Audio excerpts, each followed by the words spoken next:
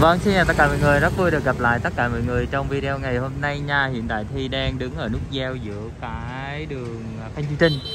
Và Trận đèo nha mọi người. Tại lâu quá không đi, không nghĩ cái đường này là Phan Chu Trinh luôn á.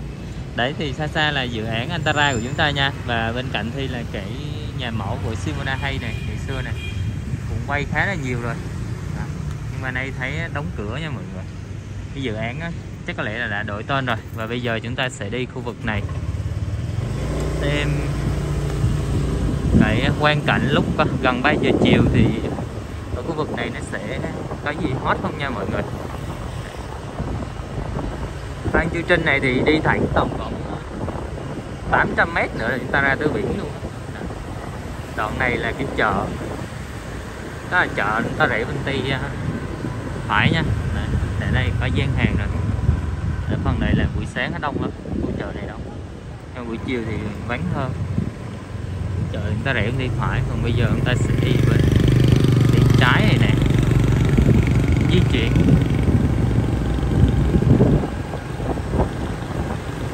Tại đây có công việc cần phải đi uh, lên cái khu vực này nên là mình sẽ chọn hướng này chứ không mình sẽ đi xuống mọi người có thể cảm nhận thêm một tí.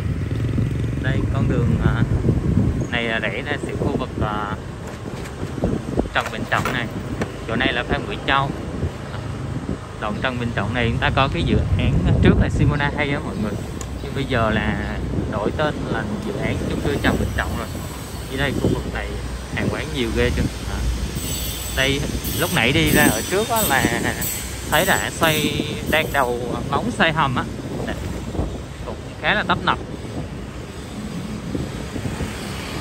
Đáng lý là nếu mà rẽ bên tay phải chúng ta có thể cập nhật ngay tiến độ mọi người. Nhưng mà định hình thì bây giờ thi đang di chuyển ngược lên hướng ờ, phía trên này. Khu vực đây là nhà thờ nhọn nè. Đây chúng ta sẽ ờ, tạm thời ờ, không cập nhật tiến độ của dự án chung cư Trần Bình Trọng nha mọi người. Này nhà thờ nhọn. Ở ngoài đường này bây giờ nắng thì cũng không có cái gì hay ho lắm. Để mà kiểu cập nhật cho sự sôi động. Giờ là trốn nắng cái đã, mọi người ơi.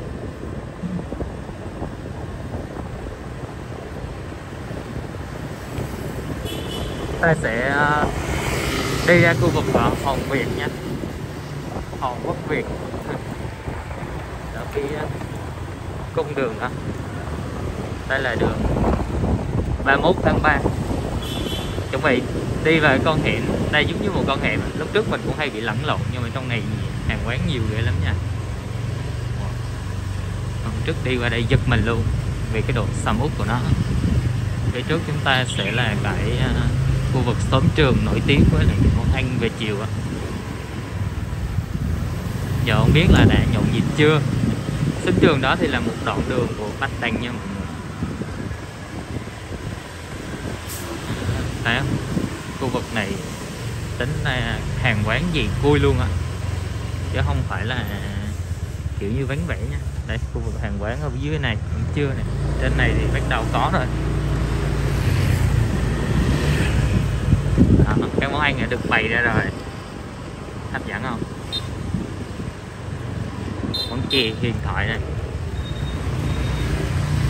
Đông lắm chè buổi chiều mà trời nắng thế này cực kỳ đông luôn. Giờ mới có 3 giờ chiều mà đã nhộn nhịp rồi đó mọi người để ăn à, xế và các kiểu là có rồi.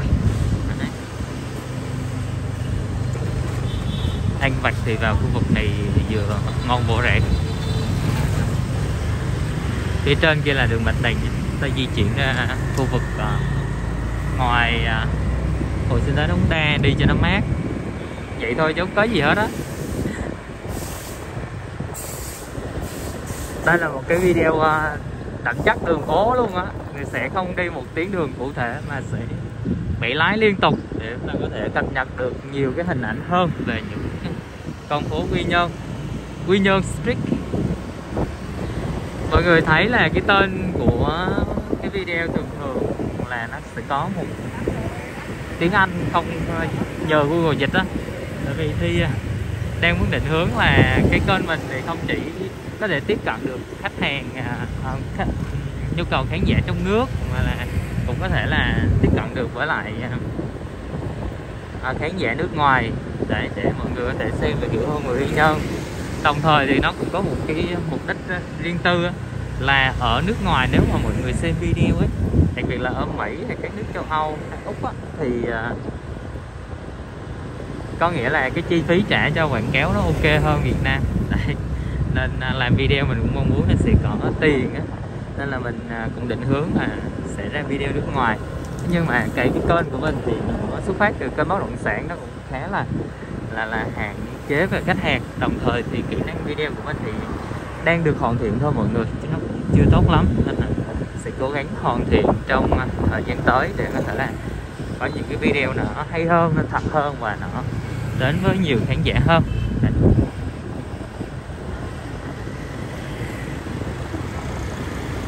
Ta đi cái đường này, phòng Quốc Việt nhé. Đúng không?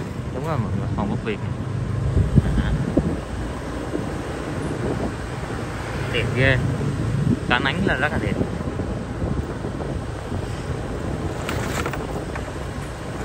Đường này trước cũng đi mấy lần rồi, chúng ta sẽ đi lên thì sẽ gặp trên à, khu vực cả chợ đầm á mọi người. Quá đi. Ô đi qua chỗ này mát. Hậu phiền này các thị lan hồi xưa cái chỗ Havana Coffee này là một cái cửa hàng tiệc cưới á. Đồ cưới á, mọi người, mình cưới vợ mình chụp ảnh ở đó. Xong bữa nay người ta trả mặt bằng, người ta chuyển đi rồi. Nghe bảo là chơi tiền ảo hết tiền rồi. Đấy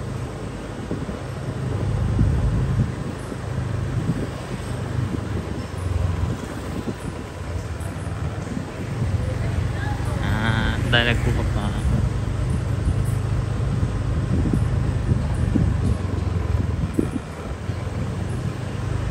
chợ đông nè mọi người. Buổi chiều thì nó sẽ vắng hơn một tí. Rất là sôi động luôn. Cung đường này hồi sáng mà đi lâu là chặt nít nè. Chiều thì đi nó thoải mái hơn rộng rãi hơn. Đi chậm chậm ngắm cảnh cũng được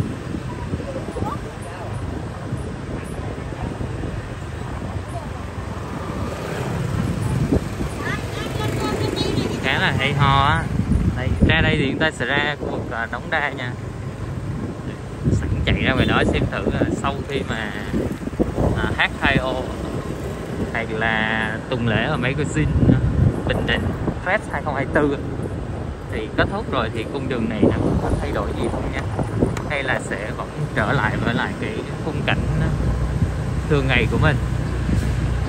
Nó mang cái dáng dấp của một con đường vận tải.